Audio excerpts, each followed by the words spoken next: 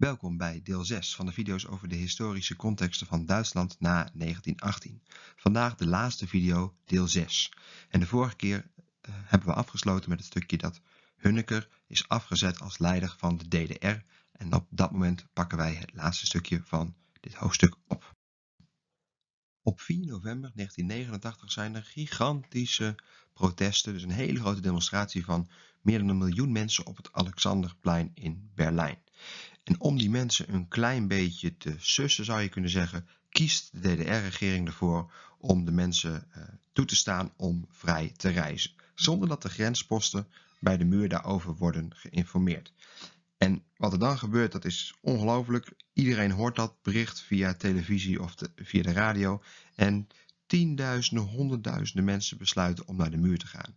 Nou, ik zei het al, grensposten wisten dus van niks, maar ze kiezen ervoor om de mensen door te laten. En eigenlijk spreken we op dat moment van de val van de muur. Want de deuren, de poorten kan ik beter zeggen, of de, de, de, de checkpoints bij de muur gaan open en zijn daarna eigenlijk nooit meer gesloten. Mensen beginnen spontaan met, het, eh, met, met bijlen inhakken op die muren. En die muur wordt uh, op sommige plekken echt letterlijk gesloopt en het is één groot feest in Berlijn. Na de val van de muur presenteert de leider van West-Duitsland Helmut Kohl al snel een plan voor de Duitse hereniging. En in Duitsland is daar groot enthousiasme voor. Maar in de rest van de wereld zijn ze daar nog wel een beetje huiverig voor. het belangrijkste land op dat moment in de wereld is de Verenigde Staten. En dus zie je Helmut Kohl heel veel ehm, op bezoek in de Verenigde Staten om zijn plannen toe te lichten. Uiteindelijk kan je wel zeggen, oké, West-Duitsland wil graag, maar er is nog altijd een regering in Oost-Duitsland. En die regering van de DDR, die wil na nieuwe verkiezingen ook samen met West-Duitsland. Dan zie je dat in 1991 de Sovjet-Unie uit elkaar valt en we dan spreken over het einde van de Koude Oorlog. En je ziet allemaal in Europa nieuwe staten ontstaan. Duitsland heeft dan nog één belangrijke taak, Frankrijk en Groot-Brittannië zien te overtuigen, want die zijn tegen eenwording, die hebben namelijk slechte ervaringen in de Eerste en de Tweede Wereldoorlog met een sterk en machtig Duitsland en ze zijn bang dat dat opnieuw tot problemen kan leiden. Maar Helmut Kohl weet ze gerust te stellen door te beloven dat ze in de Europese Unie gaan en dat ze dan meewerken aan de invoering van een euro, zodat heel Europa een gemeenschappelijke munt heeft. En als je een gemeenschappelijke munt hebt, dan ben je ook afhankelijk van elkaar en dan kan je ook niet zomaar meer een oorlog tegen elkaar voeren. En omdat eh, Kool ja, eigenlijk belooft om met die euro aan de slag te gaan, accepteren Engeland en Frankrijk ook het, het nieuwe land Duitsland als een nieuw land wat ja, toegelaten wordt eigenlijk tot de Europese Unie zou je kunnen zeggen. En daarmee zie je dat er weer een nieuwe stap wordt gezet in de eenwording van Europa, het kenmerkende aspect uit tijdvak 10. Tot slot, hoe gaat het dan in dat nieuwe Duitsland? Nou, um, economisch gezien vrij aardig wel zou je kunnen zeggen. Uh, of in ieder geval, ja, als je naar het hele land kijkt, dan is het al snel het sterkste land, eigenlijk het rijkste land in Europa. Maar als je dan kijkt naar Oost-Duitsland, dan ging dat wat moeilijk. Oost-Duitsers waren beloofd dat ze uh, ja, heel veel geld zouden krijgen van West-Duitsland. Dat kregen ze ook. Maar de economie van Oost-Duitsland was toch veel slechter eigenlijk dan gedacht. En nu nog steeds zie je als je naar de economische cijfers kijkt dat het oosten van Duitsland echt behoorlijk achterloopt ten opzichte van het westen. Er was ook nog een ander probleem. In West-Duitsland waren in de jaren voor de hereniging heel veel eh, nieuwe mensen gearriveerd. Mensen met andere culturen. Mensen uit Turkije, veel mensen uit uh, voormalig Joegoslavië. En dat zorgde toch wel voor wat problemen. Want die Duitsers die moesten omgaan met de veranderingen in hun land. Dat die twee Duitslanden weer samengingen. Maar ook ja, de vreemdelingen, om zo maar te zeggen. De anders dan Duitsstalige mensen zorgden voor problemen. En dat zorgt bijvoorbeeld in Duitsland voor iets wat we vaker hebben gezien. Grote groepen neonazies. Nog steeds is dat iets waar Duitsland last van heeft. Er is nog steeds een akelig grote aanhang voor het, uh, het rechtsextremistische gedachtegoed, om zo maar te zeggen. En dat zorgt echt in Duitsland voor grote problemen. Er zijn zelfs op een gegeven moment gigantische rellen waarbij uh, flatgebouwen van buitenlanders worden aangevallen met stenen en molotovcocktails en waarbij de politie fors moet ingrijpen. En zo gaat het met Duitsland niet altijd even goed.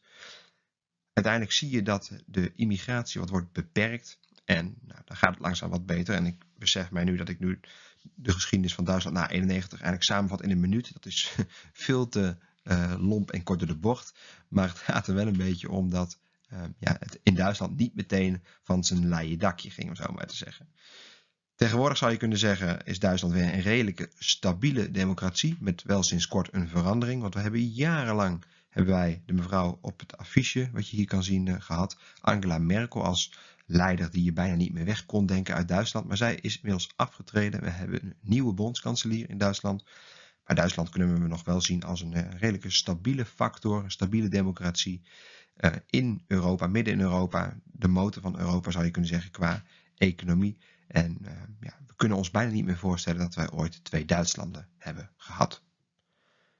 Tot slot kom ik nog even met een schemaatje wat ik in de klas ook heb laten zien. Want ik merk dat het vaak bij de historische context over Duitsland en dan bij de laatste twee paragrafen lastig is om al die Duitse leiders uit elkaar te kunnen halen. En daarom heb ik even een schemaatje gemaakt. En dat schemaatje zal ik even op de volgende dia laten zien. Ik ga je nu heel veel informatie geven in één keer, dus als het te snel gaat, zet hem gerust op pauze. Maar ik heb vijf belangrijke leiders uit de Duitslanden even op een rijtje gezet. En de leerlingen bij mij in de klas kregen dit als een leeg schema, maar dat is in dit geval wat, wat lastig. Dus ik heb het even voor jullie al ingevuld en ik heb er nog even een, een, plaatje aan toegevoegd. En ik ga ze alle vijf even kort bij langs. We hebben ze alle vijf al wel een beetje gehad, maar zo heb je een mooie samenvatting van de leiders uit de twee Duitslanden.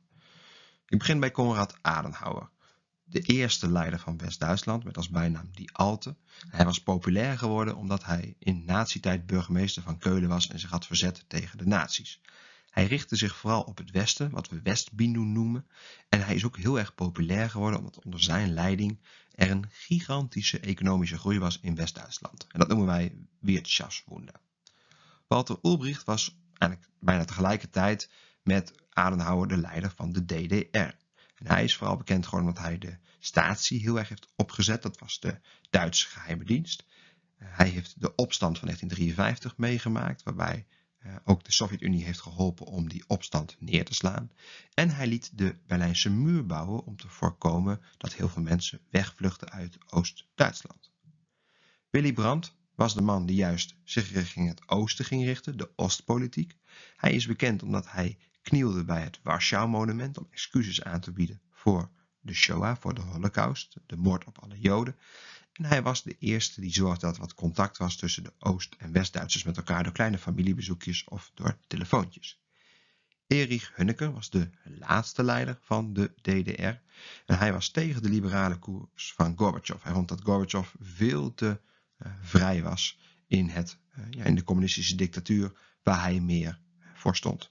Hij koos ervoor om de grenzen van de DDR te sluiten toen richting het einde van de Koude Oorlog heel veel mensen wegvluchten en uiteindelijk is hij afgezet door zijn eigen partij. En als laatste dan nog Helmut Kohl. Hij is lange tijd leider geweest, eerst van West-Duitsland en uiteindelijk de leider van beide Duitslanden. Hij ging door met die Oostpolitiek en hij werd dus de leider van beide Duitslanden. En uiteindelijk onder zijn leiding, zou je kunnen zeggen, werd Duitsland het machtigste land in Europa. Er zijn nog een paar andere leiders tussendoor geweest. Helmoet Schmid heb ik bijvoorbeeld niet uh, besproken. Ja, je ziet ook dat het tussen Adenauer, Brandt en Kool wat gaatjes zitten. Maar dit zijn de vijf belangrijkste leiders die handig zijn om te weten voor de historische contexten die je krijgt op het examen. Dank je voor het kijken naar deze video's. Uh, heb je nog vragen, dan weten jullie mij te vinden. Je kan een berichtje onder deze video zetten of je zoekt me even op via Instagram. Uh, dankjewel voor het luisteren en uh, tot de volgende keer.